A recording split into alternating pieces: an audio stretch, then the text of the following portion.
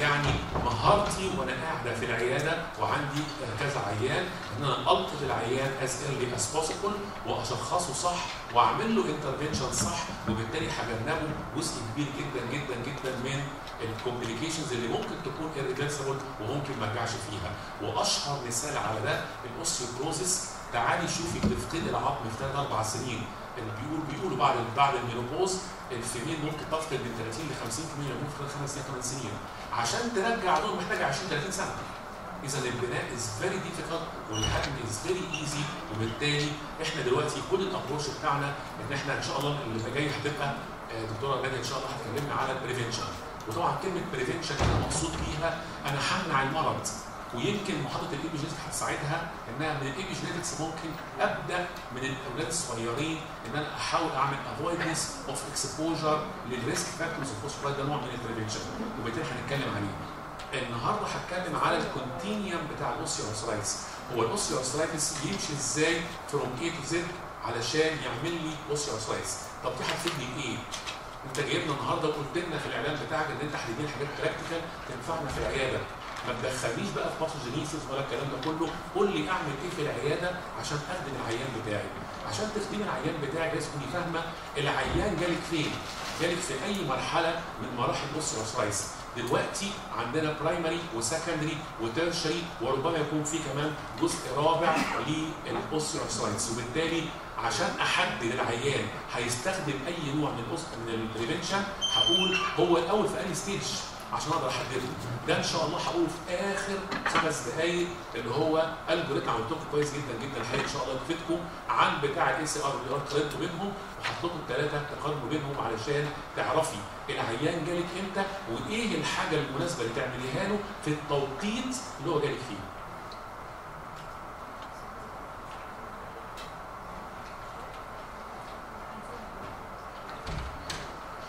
ال osteoarthritis بيبدأ as early as possible بالانكوباسي أو بال autopsy بيبدأ عند سن 20 سنة. كل الجثه اللي فوق سن 20 سنة وزي ما تفضلت مشكورة بروفيسور دكتور نادية كامل وقالت إن ال basketball بيبقى عنده 30 سنة ده من ال repeated micro trauma جاله osteoarthritis إذا هو ممكن يبدأ من عند سن 20 25 سنة يستمر لغاية سن 80 سنة أو 90 سنة لغاية ما يحصل joint failure إذا أنا عندي 60 سنة continuum من ال osteoarthritis صعب. صعب على أي بروفيسور أو أي حتة في العالم يدرسوا التطورات اللي حصلت على مدى 60 سنة. فكان المخرج بتاعها إن إحنا نشوف ال secondary osteoarthritis أو نعمل إحنا osteoarthritis ونتابعه عشان نشوف إيه اللي حصل في خلال ال 60 سنة دول والتطور اللي حصل عشان أقسم ال osteoarthritis وبالتالي أقسم ال prevention بتاعه. وبالتالي عايز أشوف ال secondary osteoarthritis أو ال induced osteoarthritis الأسهل دلوقتي ال secondary osteoarthritis الراجل ده مليون واحد في المية هيجي له osteoarthritis حصل له major trauma حصل discongruity لكل ال knee joint وبالتالي definitely مهما كان الجراح اللي اشتغل معاه في ال micro surgery وحاول يلم ال bone هيحصل له مليون المية. اللي حصل خلاص incongruity وحصل micro trauma major trauma لل chondrocyte وبالتالي disturbed كل ال metabolism بتاع ال osteophyte وبالتالي هيبدأ يحصل له osteoarthritis هقدر أتابع من المنظر ده ومن أول ما جه ال osteoarthritis أتابع ال pathology بتاعه وأشوف هو اتطور إزاي عن طريق biopsy أو عن طريق ال radiology. بعد كده بعد ما جاله ممكن أعمل early زي ما قلت حضرتك قالت إن early diagnosis of osteoarthritis عن طريق ال imaging بتاع ال MRI أو بعد كده لما يبدأ العيان يشتكي من المرحلة الأولى لغاية ما يوصل لغاية ال joint failure من هنا بعد ال major joint trauma طلع تعبير جديد اسمه pre-clinical الراجل اللي حصل له major trauma ده أنا عارف إن بدأ ال osteoarthritis يحصل معاه بس مش هيشتكي دلوقتي. زي ما الدكتوره دلوقتي قالت الولد بتاع 35 سنة اللي جاله osteoarthritis وهو بيلعب basketball وهو بيلعب عنده 20 سنة ال osteoarthritis بدأ صح؟ وده اللي هنسميه إيه؟ pre-clinical عايزين نشخص ده. طب وهي قالت حاجة ذكية قوي ما خدتوش بالكم منها بتقول إيه؟ ده 20% الله يبقى في غير ما لهمش يبقى إذا مش كلهم هيجي لهم osteoarthritis يبقى أنا محتاج بقى أعمل selection لل 20 دول early عشان أقول له ما تكملش basket ولا تكمل volleyball ولا تكمل لا كمل لعبة ثانية تكون غريبة شوية عشان ما يجيلكش osteoarthritis لأنك أنت بدأ عندك فعلا ال osteoarthritis أو. بعد كده المرحلة الثانية اللي هي ال radiography الراجل ده اللي هو حصل له major trauma ده كان محتاج من 10 ل 20 سنة عشان يبدأ radiology إذا أنا في 20 سنة هيروحوا مني أو 10 لغاية ما يجي له osteoarthritis هيشخصوا الولد ده بدأ ولا ما بدأش؟ تمام؟ طب ليه 10 وليه 20 وليه عملت wide range كده؟ عشان أعرف ال major trauma ده إمتى؟ هو مش لازم يكون لاعب. ده ممكن يكون واحد حصل له حادثة. عربية واتقلبت أو اتعملت والرجل حصل لها fracture أو أو أو. ده لو كان عند 20 سنة محتاج 20 سنة عشان radiology انما لو جه واحد عندها 40 50 سنة لا ده محتاج خمس سنين بس عشان يجي secondary يوصل فحطينا ال wide range دوت ال wide range ده اللي هو من 10 ل 20 سنة. ممكن تبقى أقل من كده؟ آه ممكن. ممكن نعمل induction إحنا قلنا هنتابع ال secondary osteoarthritis لا الكلب عندي بيعيش من 15 ل 20 سنة. طب ما أنا ممكن اعمل له osteoarthritis وأتابعه. يبقى هنا لو عمره قد عمري ربع أو أو تمن أو مثلا خمس يبقى أنا في ال 20 سنة بتوعه أنا جالي في نصهم osteoarthritis وهو في العصر ممكن أتابعه. ده في أحسن من كده القطه بتعيش أقل شوية. ممكن أعمل لها osteoarthritis induction على فكرة ال induction سهل جدا. ممكن تعملي رابشر للميديا كوتا ريجن أو أو اللاترال وأخلي يجي مثلا شهر ولا حاجة. الليمبنج لوحده يعمل اوسيوسلايتس واخدين بالكم؟ ودي طبعا حاجة مشهورة جدا إن سعادتك لو مشيتي تعرضي لمدة شهر بتمثلي على مسرح هيجي لك اوسيوسلايتس وبالتالي أنا ممكن أشوف بص بارسلاس في خلال سنتين ثلاثة واختصر فيها 60 سنة بتوع الهيومن بين أو ال 20 سنة بتوع السكند اوسبارسلاس ده لو ممكن احسن من كده. ممكن أجيب الفار اللي عمره من 3 6 شهور واعمل له induction osteoarthritis في خلال شهر يجي له وهيموت بعد شهرين. يا في شهر واحد بس أقدر أجيب 60 سنة يبقى كل يوم هيوفر عندي سنتين تقريبا من عمر الفار. أشوف إيه اللي بيحصل فيه في ال osteoarthritis وبالتالي أقدر أتابعه واحدة بواحدة وأقدر أقسم بقى ال osteoarthritis زي ما بنقسمها هنشوفها دلوقتي ونشوف ال continuum بتاعه ماشي إزاي. وأقدر بعد كده أقول أنا فين العيان جالي بتاع ال osteoarthritis هيحصل اللي قدامي ده. نمرة واحد العيان ده genetically susceptible بتكلم عن بينج بقى. أنا قاعد قدامي الجدة وقاعد جنبها الأم وقاعد جنبها الحفيدة.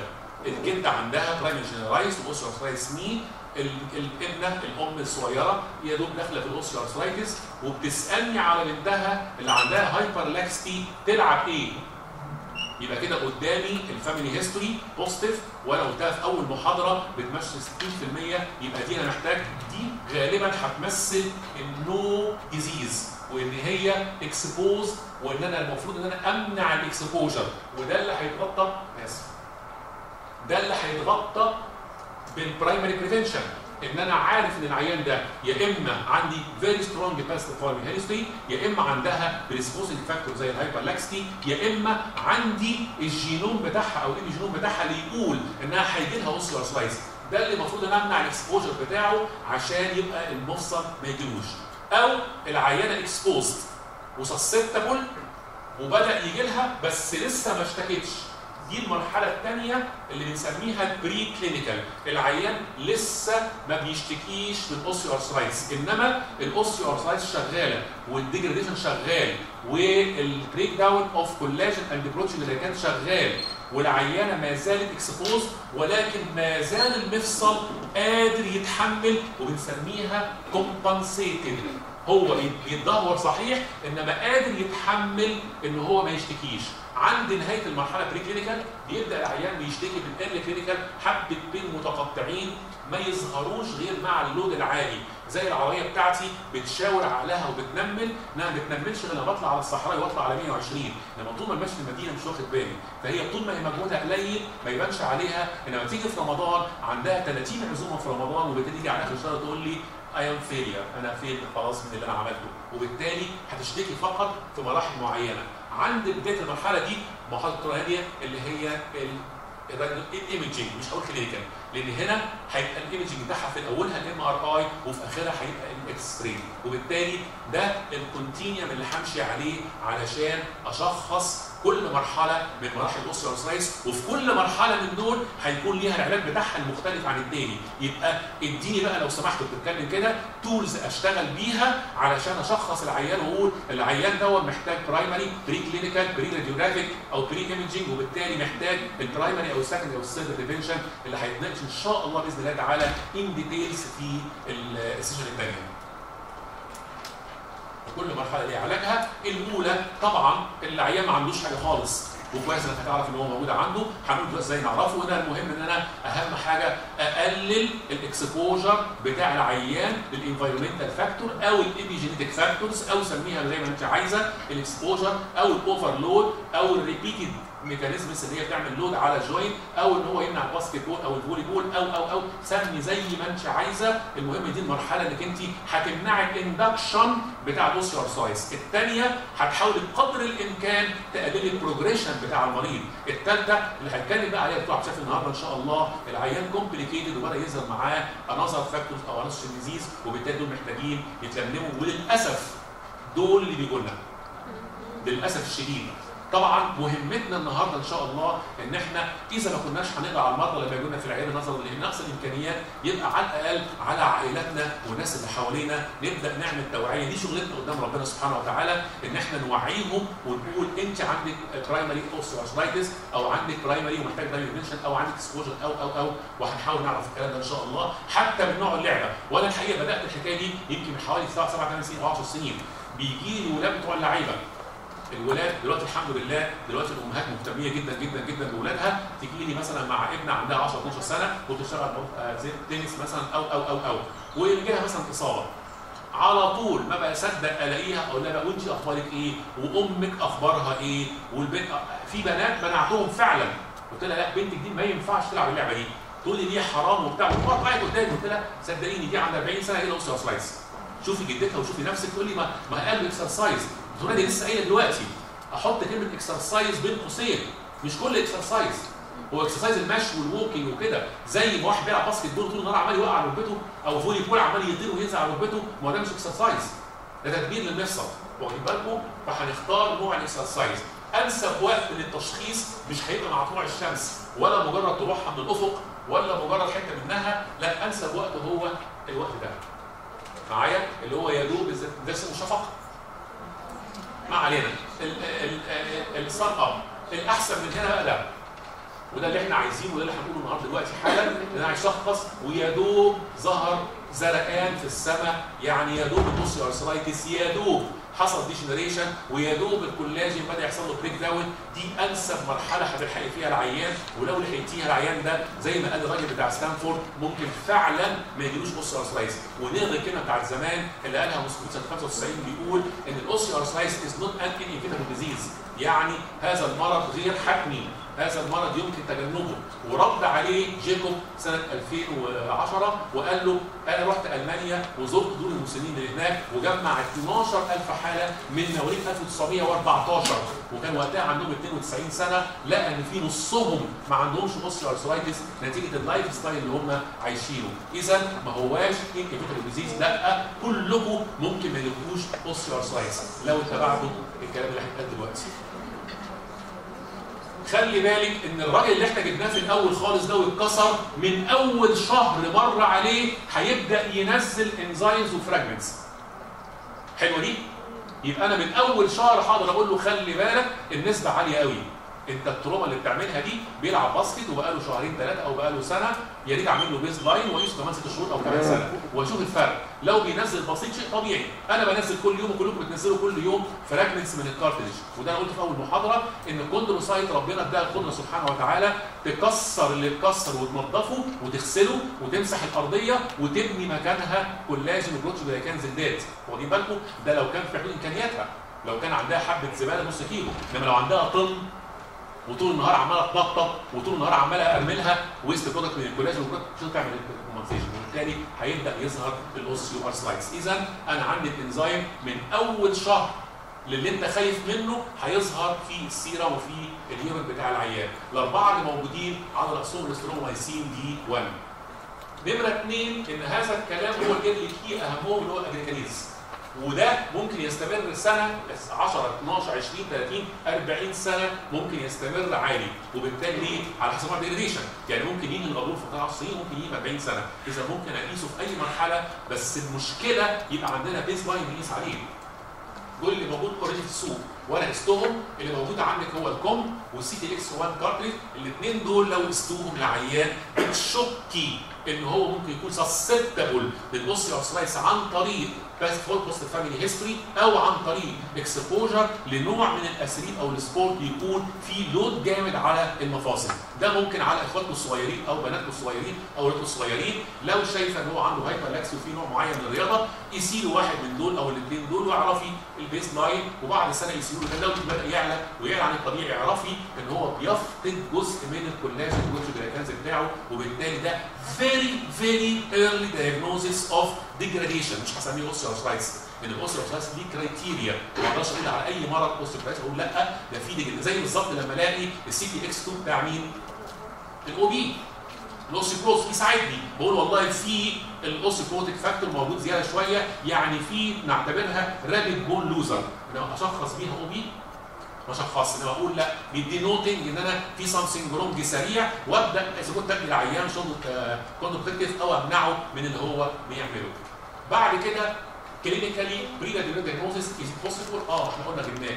نمره اثنين وطبعا مش هقولها هقولها بسرعة جدا الدكتوره الحمد لله إن هي استوفيتها كويس جدا جدا جدا إزاي أعمل ايميجنج قبل الراديولوجي هيبقى عن طريق الام ار اي ودول الحاجات للأسف بيكتب في التقرير ما بيكتبليش دول osteoarthritis بيكتب دول اللي موجودين طبعا واحد يقول لي لا ما مجموعه ال osteoarthritis لا خلي بالك دي الدكتوره هادية جابت صوره حلوة قوي ليها الاثنين مع بعض دي بان في ال MRI أنا في ال cartilage مش هتبان غير لما تكون calcified أو بقت ossified وبالتالي ال MRI ممكن يسبق. أنا مش عارف ده كام سنة الحقيقة أنا ممكن أنا سمعت إن هي من بعض الاشاعه ممكن 10 سنين قبل ال radiology نلاقي فيه changes في ال MRI وبالتالي ممكن يظبطها لي. في حاجة أحسن من كده؟ دكتور هادية برضه قالتها الحقيقة وسبقتني فيها اللي هو ال cartilage abnormalities and quality عن طريق حاجة اسمها delayed gadolinium enhanced MRI إيه اللي بيحصل في الكلام ده؟ اللي بيحصل بمنتهى البساطة ان بيقيس لي عن طريق ال scale اللي موجود قدامكم ده الأخضر ال cartilage زي الفل. الأحمر degeneration أقدر أحدد كمية الكولاجين وال proteoglycans أو ال matrix بتاع الكولاجين عن طريق gadolinium enhanced MRI وبالتالي ديت advanced جدا جدا جدا. لو واحدة بشك فيها عندها 20 30 سنة بتلعب لعبة معينة وأنا خايف يكون لها osteoarthritis يمكن قبل 20 30 سنة من ظهور الاشاعه لو عملت جادولينيوم حتى مش هيبان في دي ال osteophyte ولا ال attrition ولا ال bone marrow دي edema مش هيبان كل ده. هيبان فقط حجم الغض مش حجم الغضروف كمان. لأن حجم الغضروف دي حاجة ثانية مش حاجة ال consistency أو ال component أو ال quality بتاعت الغضروف فاهمين يا ولاد؟ نعم. الله ينور عليك ويكرمك. ريحتني. خدتي عينة من enhanced ال gadolinium لل cartilage وعرفت اللي جواه إيه. أفتكر معاك. مش طول حاجة احسن من كده بس طبعا very expensive إنما برضه العيان هو اللي هيدفع والله عايز تطمن. على ال cartilage بتاعك إن أنت هيجي لك osteoarthritis بعد 20 سنة أعمل لك enhanced gadolinium وأقدر أحدد لك كميه الكولاجين وال proteoglycans وممكن لو بيلعب لعبة جامدة وغصب عنه اولمبيات ولا غيره ممكن أعيدها بعد خمس سنين. عصر يقول له خلي بالك أنت دخلت في الخط الأحمر بتاع ال loss of degradation آدي الصور ملونة وآدي ال scale بتاع كمية الكولاجين وال proteoglycans اللي موجودة جوه العظمة وبالتالي عندك assessment زي بالظبط ال BMD بتاع ال osteoporosis اللي هو ال bone marrow density نفس الشكل هنا ودي الحاجات اللي ممكن أستعملها لل MRI بما فيها ال consistence بتاع ال cartilage والكولاجين وممكن أستفيد بيها في ال very early diagnosis of osteoarthritis ما معهاش فلوس. تقدر تعمل لي X-ray تساعدني شوية في ال early كل الحته اللي في النص بين ال MRI وبين ال radiology لو أنا بصيت هلاقي أتخن حتة في ال cartilage هي الحتة اللي موجودة على نهاية ال condyle هنا. اضعف حتة اللي ورا دي. فأنا عايز أصور العيان في الح... في الوضع ده. لو صورت العيان في الوضع ده يمكن يظهر لي narrowing قبل كام سنة من ظهوره في الحتة دي. ان ده محتاج وقت أطول عشان يحصل. الوضع اللي ممكن أعمله للعيان ده في ال early إن بعض الأحيان سعادتك بتبعت لي كل اللي قدامك osteoarthritis pain و gelling و stiffness ومش قادرة و وتعملي X-ray زي الفل. اعملي بقى الوضع ده اللي بنسميه Schuss view أو defined Schuss view منظر سهل جدا هيدي 15 درجة ويحط ال beam قدام ال knee هيطلع لك ال narrowing very very very early يمكن قبل سنين من وجوده في ال normal عليه دلوقتي بيقعدوا قدامي أقدر أحدد دلوقتي من اللي قدامي دول. أنا فين ال osteoarthritis وأقدر أحدد لكل واحد مين فيهم عندي الطريقة اللي أحدد بيها ال osteoarthritis دي مش محتاجة اللي في النص. الجيل الثاني مش محتاجه قوي يمكن الجيل الثالث يكون محتاج والصغيرين دول هم اللي إحنا عارفين ال exposure بتاع ال osteoarthritis وبقى عندي دلوقتي ال tools اللي ممكن أقدر اشخص بيه كل الكلام ده. ده ال continuum. الحقيقة آه، آه، آه، أنا دلوقتي عندي محاضرتين. في محاضرة اللي هي بتاعت ال treatment of effusion second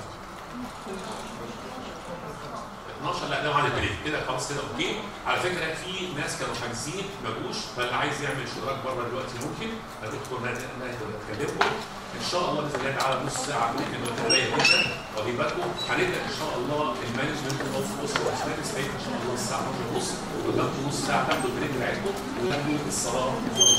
thank you